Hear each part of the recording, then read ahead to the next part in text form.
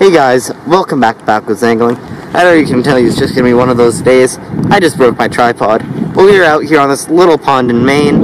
Uh, we're gonna be trying to sight fish some rainbow trout and brown trout. You know, so also there's some good bass out here. It is like 30 mile an hour consistent winds with big gusts. There was a spot that I wanted to set up behind me, but I'll zoom in on that in a second. It's a tad bit open water. And guess what? It's not time to go swimming. So, let's get right into this. So the first rule of business here is I'm gonna take the ice chisel, and this this isn't an ice chisel. Don't bully me. But we are gonna be going, and I'm gonna try to cut and find a spot in the right depth of water, so that we can catch some uh, rainbows and browns. So I guess there's some big browns in here. Check this out back here.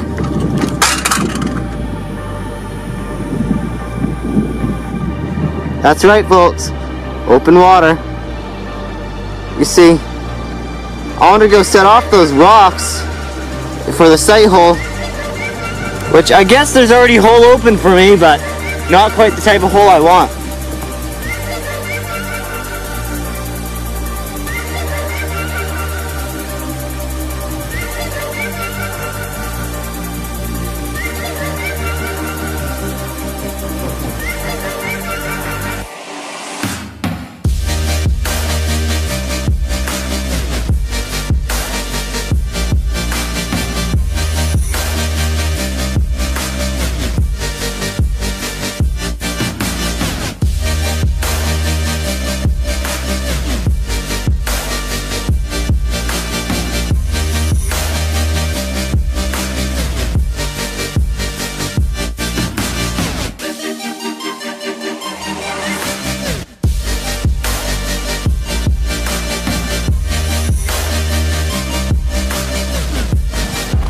So we're jigging, set up on the good hole. We just showed up to the new spot. This is the hole where I caught that rainbow out of.